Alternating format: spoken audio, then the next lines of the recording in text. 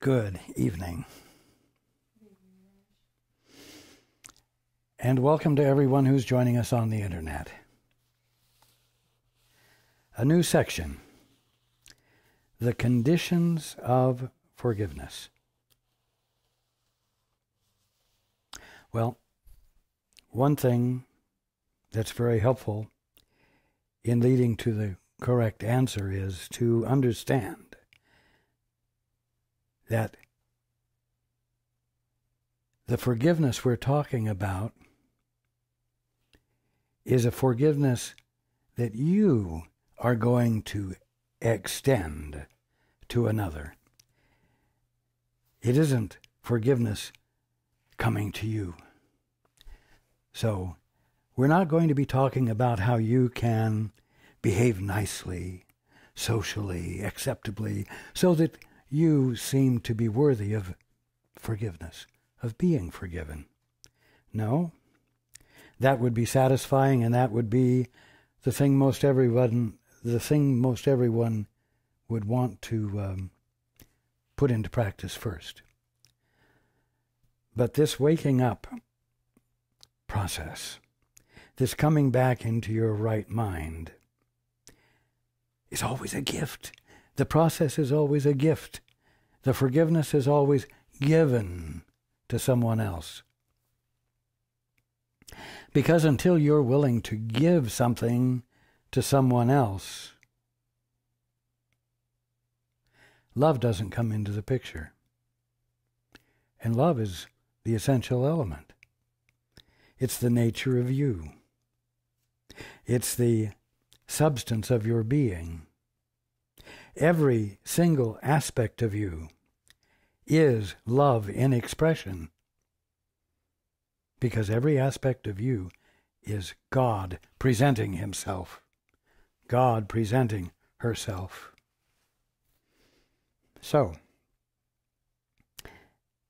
if you want the dream of sin, sickness, and death, of suffering, to end, you're going to have to have someone else on your mind someone other than yourself on your mind.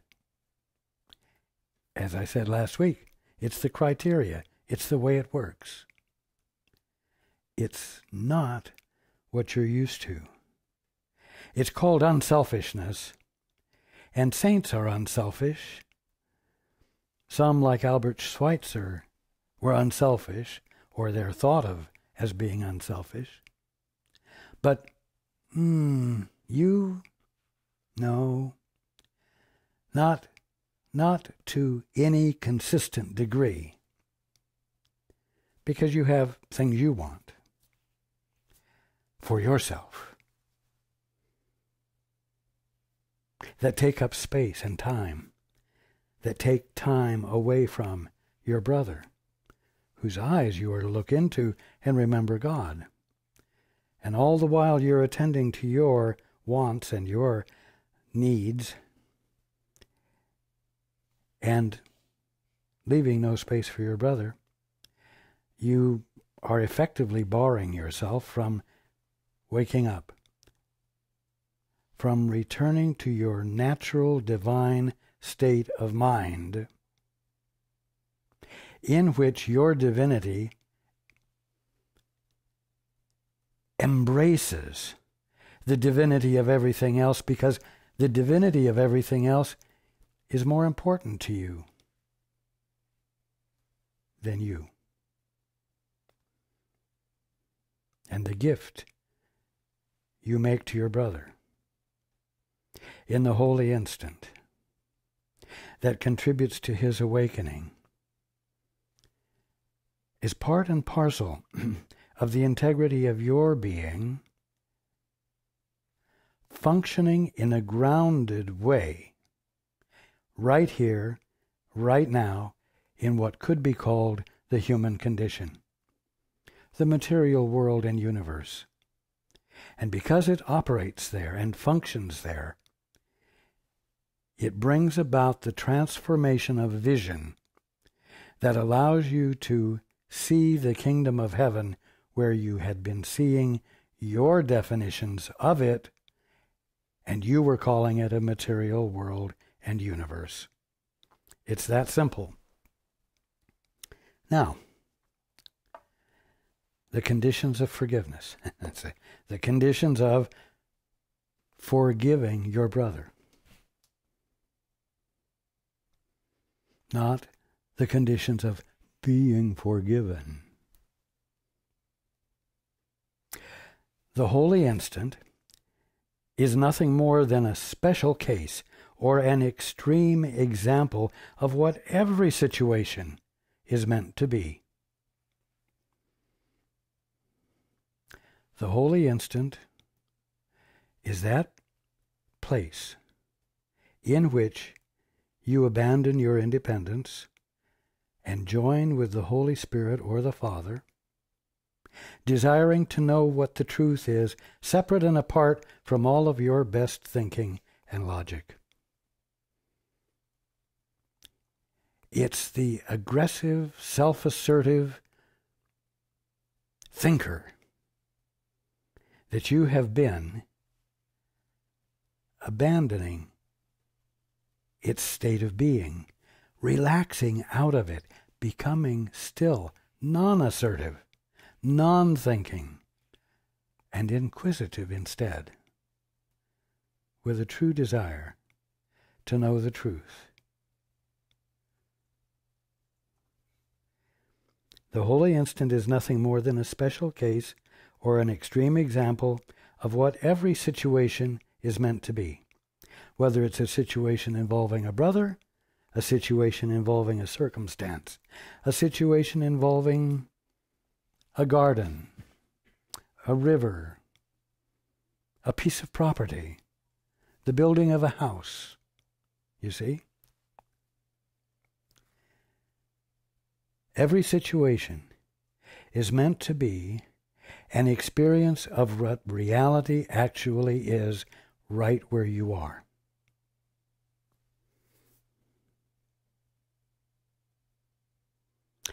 The meaning which the Holy Spirit's purpose has given it is also given to every situation.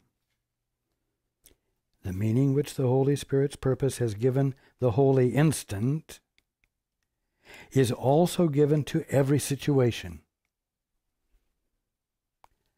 The purpose given to the holy instant never just hangs there, it's always connected to something, it's always relevant to something.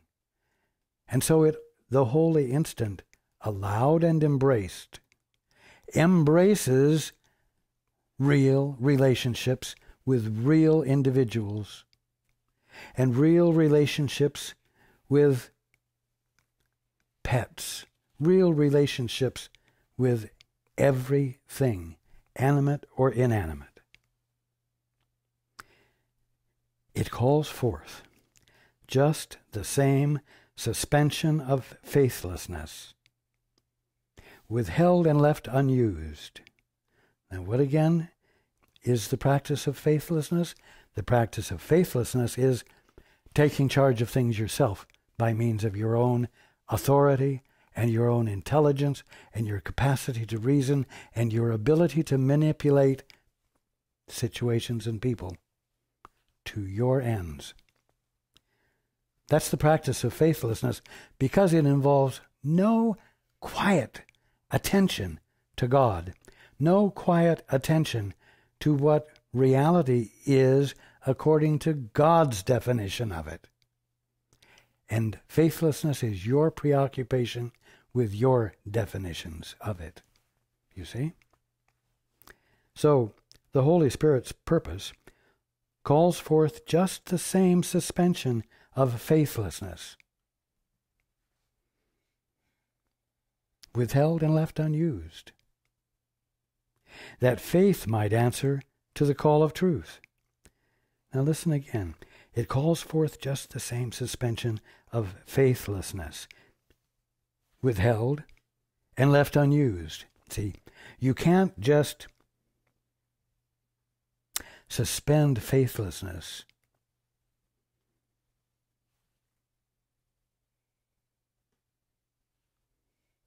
It must be withheld and left unused, else your withholding of it with an ace up your sleeve is a barter. It is a it is an, a, a, a means of being able to take control again if it becomes necessary according to you. So, it calls forth just the same suspension of faithlessness, suspension of faithlessness, withheld and left unused. Left unused. Left never to be used again, you see. That's unused.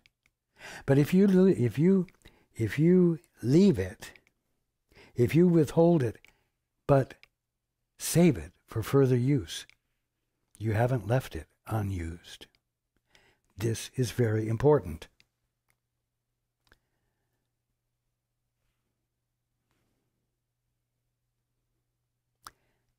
The Holy Spirit's purpose calls forth just the same suspension of faithlessness, withheld and left unused, that faith might answer to the call of truth, that the joining,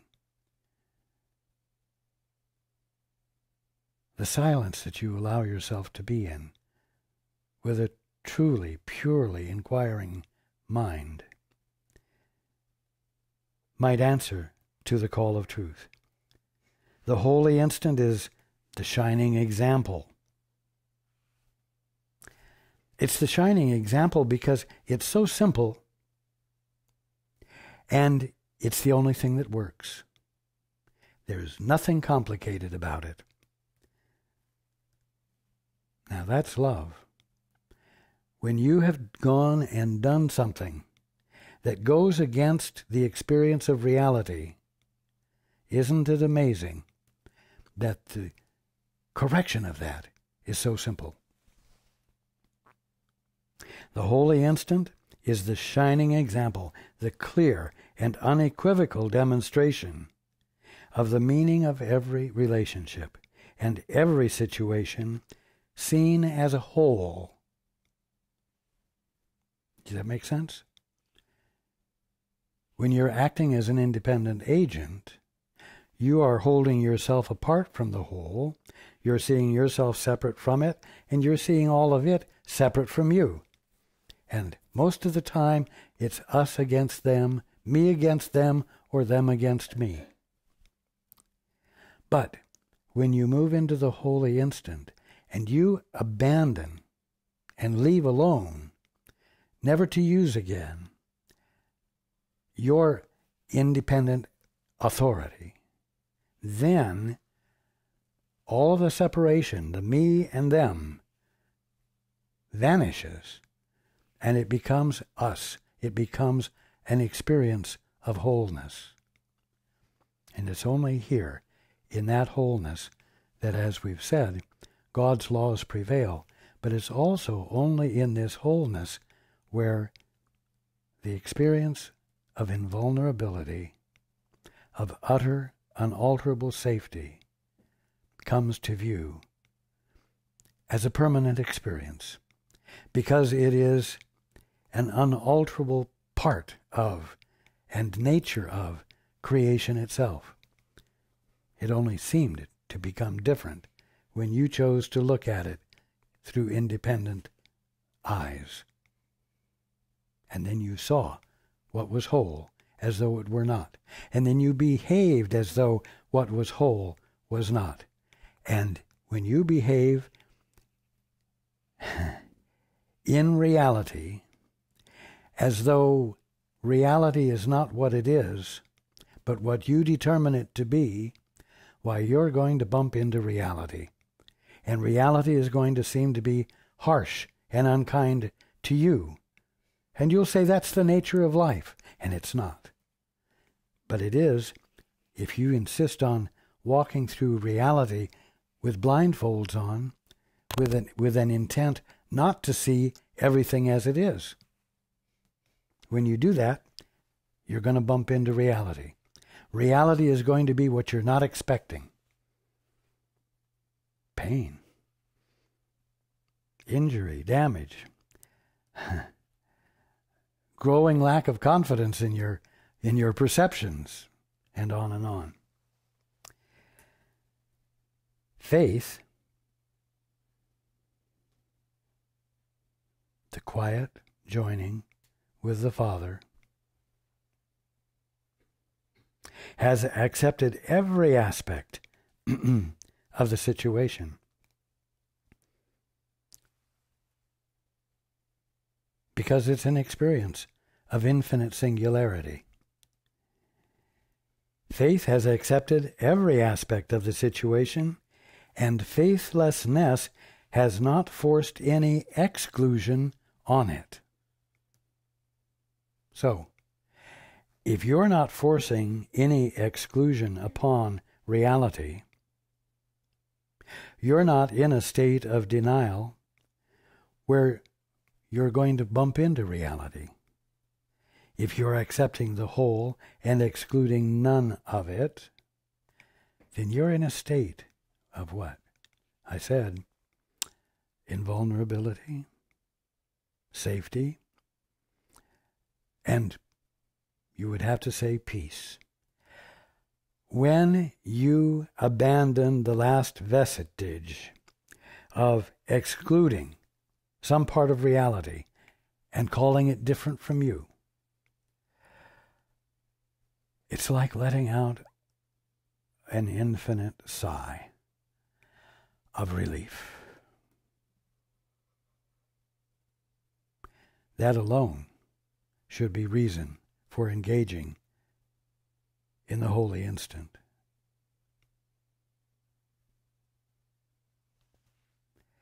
It is a situation of perfect peace, simply because you have let it be what it is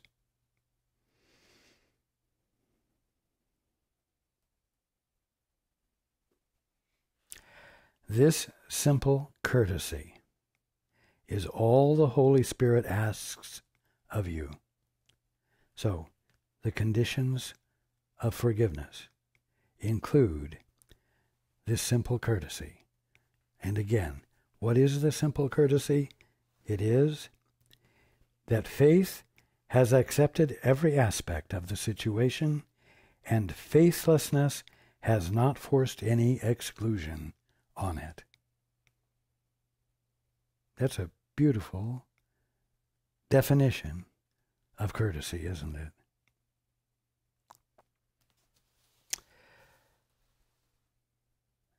Do not intrude upon it. Do not attack it. Do not interrupt its coming.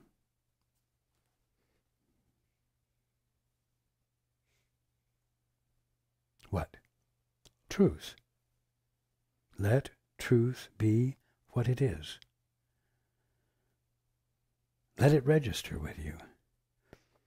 Let the registering of it be the most important thing to you. Because it's the most intelligent thing to do. It's intelligent to want to know the truth, and it's, in, it's unintelligent to want to be confused by misperceptions, by lies, by that which isn't true. So, do let truth be what it is. Do not intrude upon it. Do not attack it. Do not interrupt its coming. Let it encompass every situation and bring you peace. Not even faith is asked of you, for truth asks nothing. Now, this means here faith like confidence. You don't have to have confidence in truth. Not even faith is asked of you, for truth asks nothing. Listen, let it enter, and it will call forth and secure for you the faith you need for peace. So truth is not some intellectual precept or statement that's uncontradictable. Truth is an active presence. Let it enter, and it will call forth and secure for you the faith you need for peace. Ye shall know the truth, and the truth shall make you free. Ye shall let the truth in so that it registers with you, and it will make you free. It will clarify, as an act of love, what is true, so that you become unconfused and sanity returns. Now, it takes faith in the sense of you're practicing the two step, the holy instant. It takes the faith that constitutes silencing your will and joining with the Father to gather information about reality from Him so that the true perspective may replace your misunderstandings or your misconstructions, your misidentifying what reality is. Truth changes you. By making clear what isn't true and rendering it valueless so that it holds no interest for you any longer. Truth does that when you practice faith, not in it, but in silencing your human will and asking the Father what is the truth. That you must do. That practice of faith you must engage in. When the Father or the Holy Spirit responds, it infills you with understanding, with knowing that is unquestionable, clear, satisfying, and pacifying. It's that simple.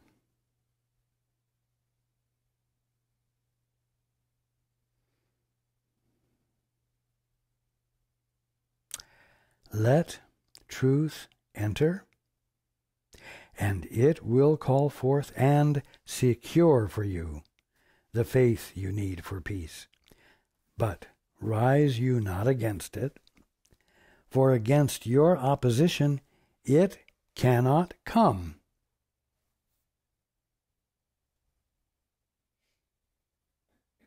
You can't change it. You can't alter it. Uh, you can't make it disappear. But you can withdraw your attention from it totally. It still doesn't stop governing you. But its governance often is experienced as uncomfortable because it moves you in the direction of your sanity when you are intent upon enjoying the fascination and excitement of being insane for a while. Would you not want to make a holy instant of every situation? For such is the gift of faith, freely given wherever, once again, faithlessness is laid aside, what? Unused. No backup plan. No ace up your sleeve. Abandoned. This power, and then the power of the Holy Spirit's purpose is free to use instead.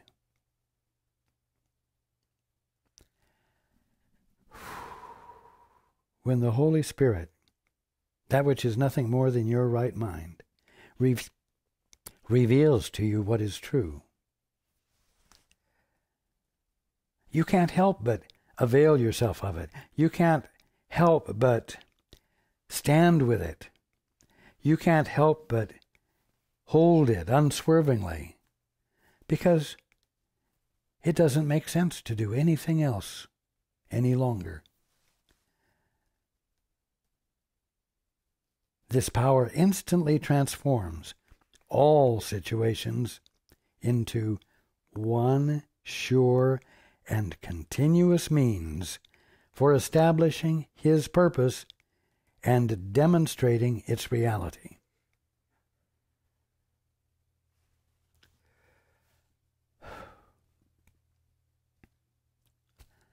Yeah. Everything gets done for you.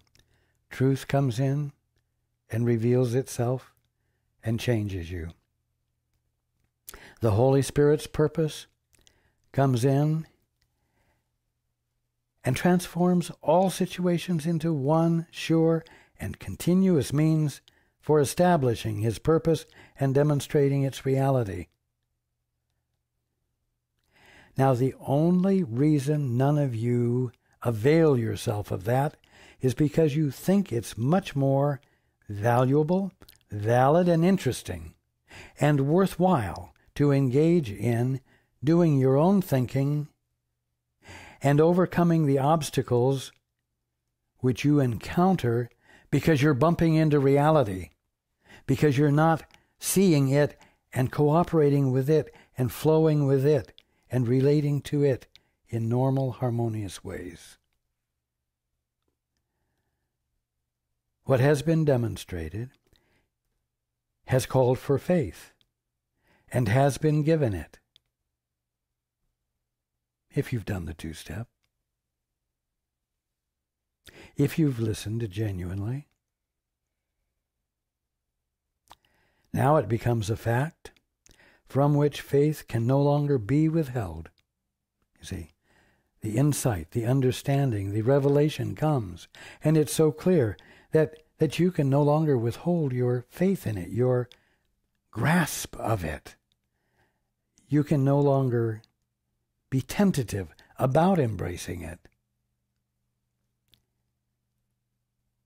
The strain of refusing faith to truth is enormous and far greater than you realize. But to answer truth with faith entails no strain at all. No, it doesn't. But the strain is invigorating. You're used to it. You love challenges. You think you you think you're here to overcome challenges. So what would it mean to be here with no strain at all? Well, it must mean something the equivalent of dying. You know, I mean, no purpose left to life, just, you know, um, literally wouldn't the idea of sitting on a pink cloud forever be as uh, horrible as lying in a casket forever? Different environment, same meaninglessness. And that's not what it's about.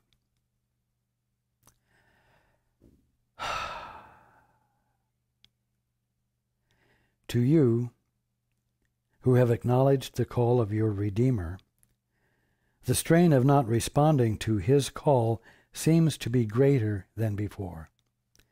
Now, this is a very important point. Who is your Redeemer?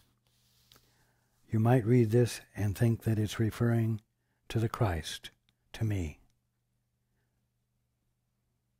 I know that my Redeemer liveth. But that's not what this is referring to. Who is your Redeemer? Your brother, the one sitting next to you, the one sitting across from you, the one you had the fight with, the one you made love to. To you who have acknowledged the call of your Redeemer, the one whose eyes you're going to look into, and as a result of looking into it with true care, recognizing the Father, and in recognizing the Father, waking up yourself. Your brother is your Redeemer as a result of your loving him enough to look at him with innocent eyes instead of your preconceptions and in the innocence of your vision, being able to see the Father radiant in your brother or sister, your Redeemer, So let's listen. To you who have acknowledged the call of your Redeemer, the strain of not responding to his call seems to be greater than before. Why? Well, because before you didn't know your brother was your Redeemer. He was just the bastard you had to deal with every day in order to get on with life, right? But when you know that He's your Redeemer, when you understand what I've been sharing with you, it becomes impossible to look at Him and engage in mean spirited, independent projection and not feel guilty and, and not know that you're missing the mark because you're not engaging in your function. So now it becomes more difficult to hate your brother, or to think the worst of him, or to jump to false conclusions about him with justification.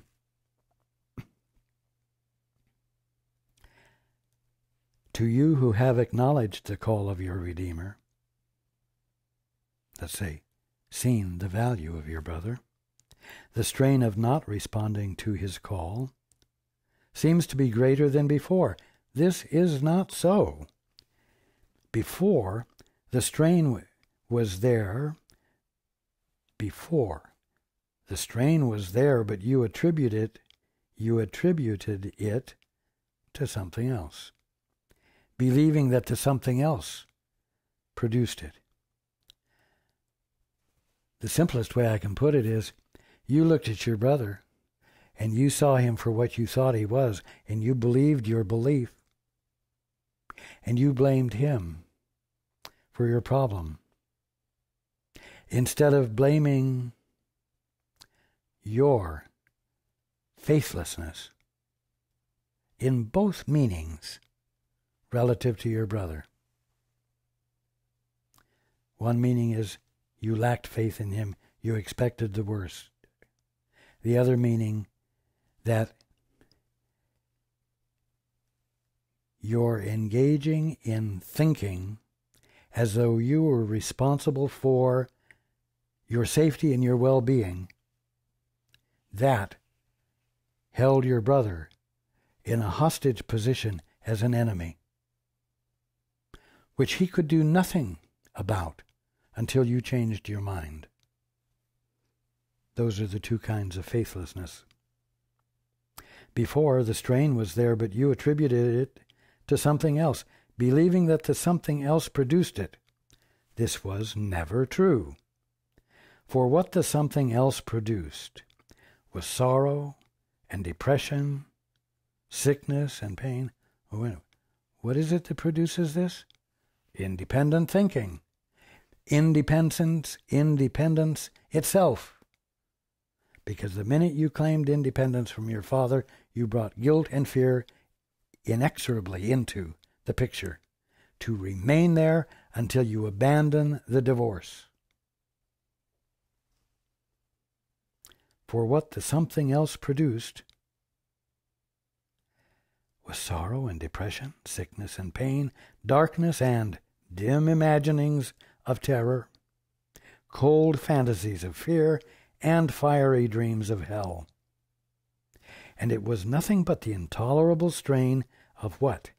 Refusing to give faith to truth and see its evident reality.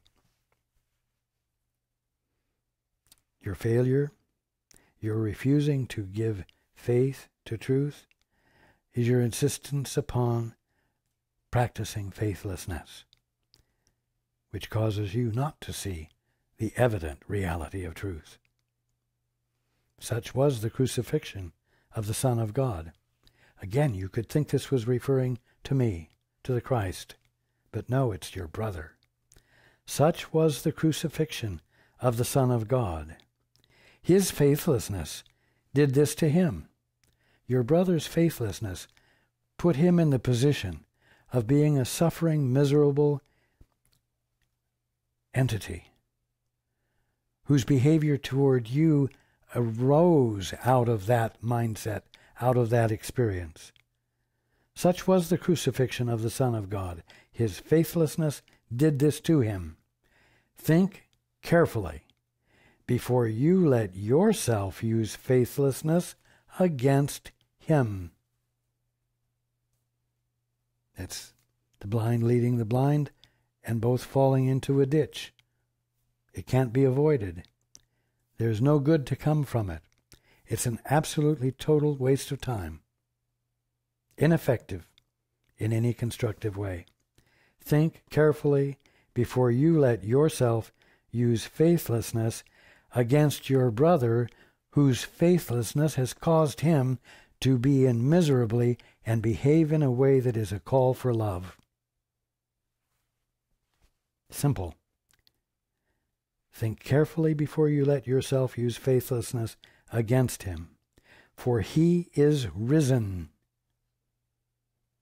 And you have accepted the cause of his awakening as yours.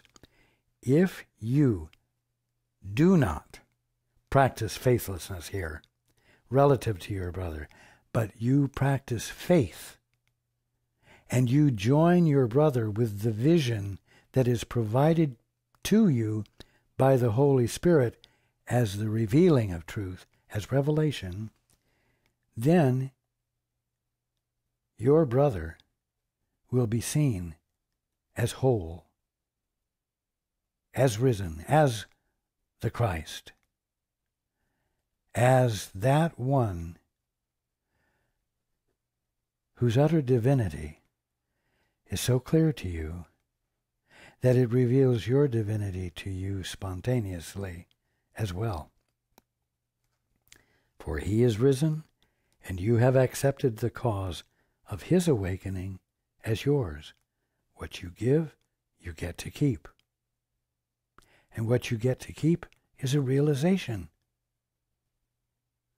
a revelation that comes as a result of being a brother actively so that in your experience of Him, you see God. You have assumed your part in His redemption, and you are now, uh oh, fully responsible to Him. Here's that involvement thing again.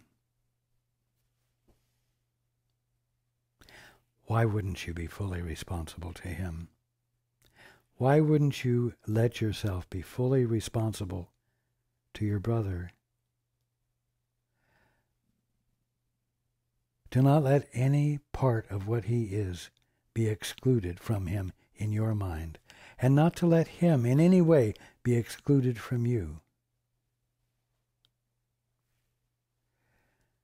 Why would you not want to constantly be fully responsible for being the presence of love that introduces no dissonance or inharmony, and is uplifting and fulfilling to your brother or any situation.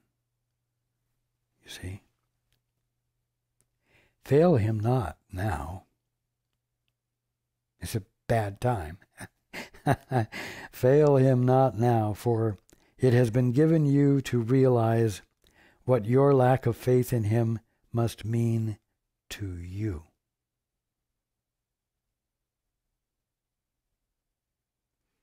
Now you might say, wow, then if if I'm going to love my brother because of what not loving him is going to do to me, then really I'm not doing it for my brother. I'm doing it for myself because I don't want to suffer. Yeah, that would be a good way of mind effing yourself into um, delay delay in, in embracing your brother. You've got to realize that you're not going to wake up until your brother is important enough to you to dare to look in his eyes and see something that you haven't believed was there the Father, God. Not doing that is going to have an effect on you. But you know what? It's your nature to love him, and it's your nature to see him as he truly is. So when you're asking for the Father's perspective, you're asking to be returned to your nature, your natural perspective, your sanity. That's just the way it is. His salvation is your only purpose. See only this in every situation, and it will be a means for bringing only this.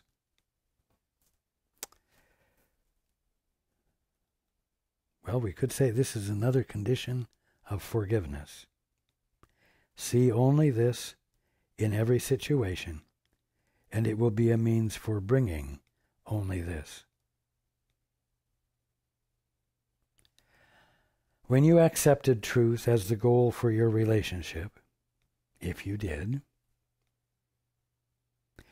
and this experience was had that we've been talking about, you became givers of peace. When you accepted truth as the goal for your relationship, relationship, you became givers of peace. As surely as your Father gave peace to you. For the goal of peace cannot be accepted apart from its conditions.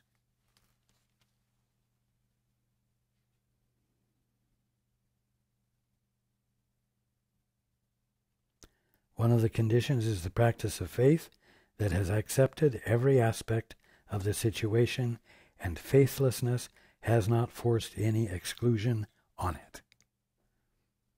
That's one of the conditions of peace.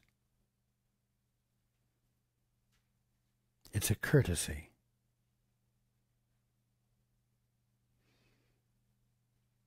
Recognizing that your brother or sister is your Redeemer is another condition of forgiveness. If you don't see that, you will not be curious enough to look into your brother's eyes and see something different from what you believed was there. And that will be deep, that will deprive you of being able to recognize yourself in a new way because of the way you treated your brother. And that's one of the conditions of forgiveness.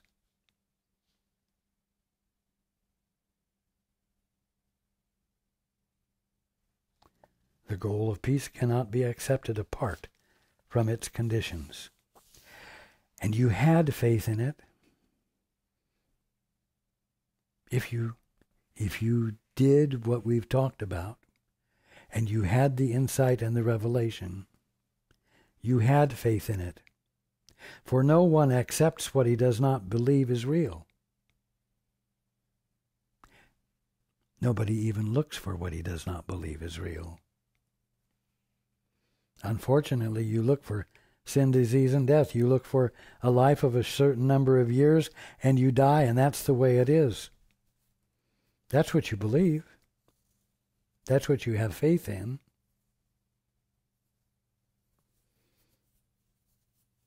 It's hard to accept that you're the Christ.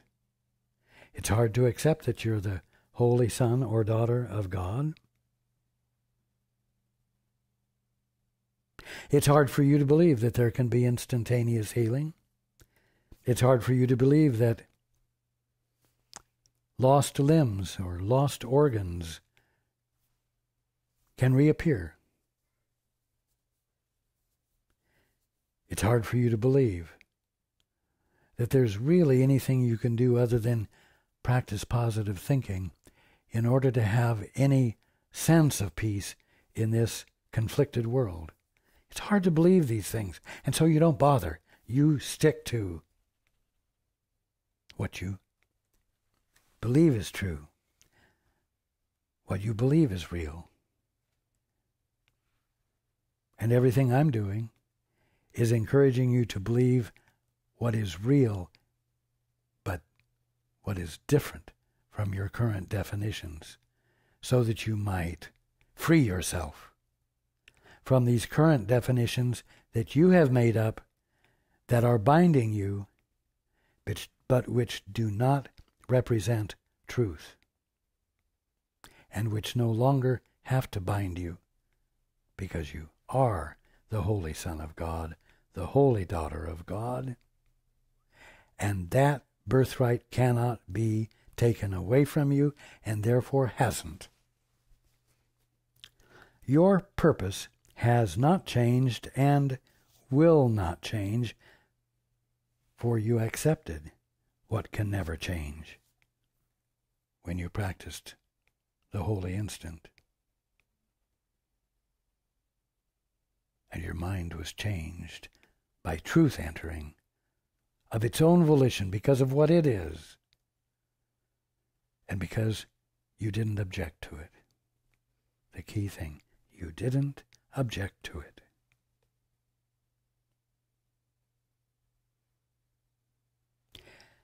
Your purpose has not changed and will not change, for you accepted what can never change. And nothing that it needs to be, and nothing that it needs to be forever changeless, can you now withhold from it. That's what you can anticipate. When truth becomes clear,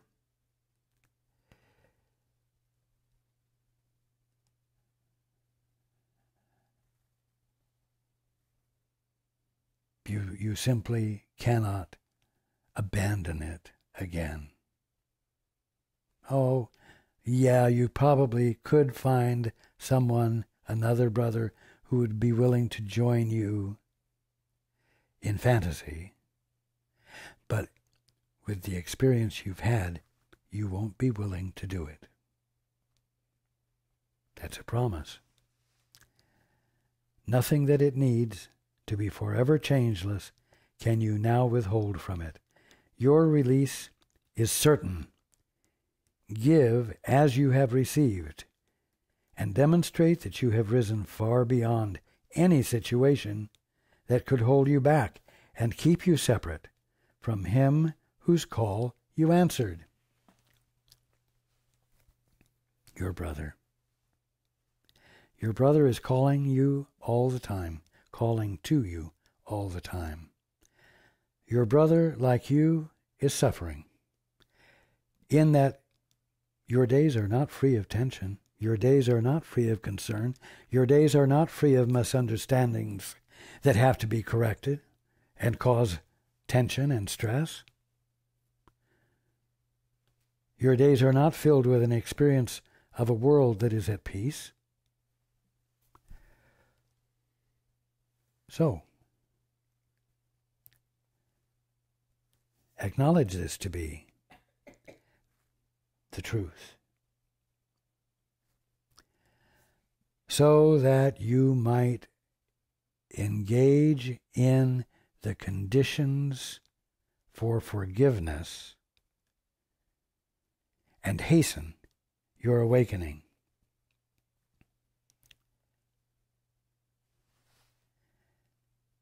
And again, as I mentioned last week, this means getting involved with your brothers and sisters, not with ideas and theories. And in your very human connections, with your brothers and sisters, bring the Father into the picture. How? Change the way you're dealing with your brother. Because how you're going to bring the Father into the picture, into the picture is by looking into your brother's eyes and finding him appearing there causing you to be involved in a complete change of mind, a complete revamping of your perception of your brother and the feelings you have about your brother. Together with what you're going to find is the evaporating of arrogance in you on your part.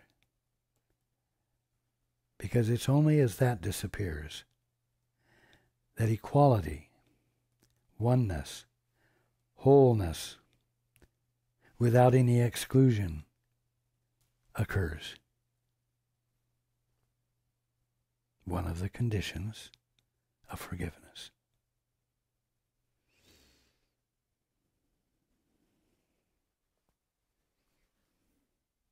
I love you.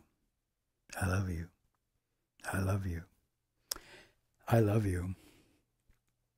I love you. And everyone who is listening or watching, I love you.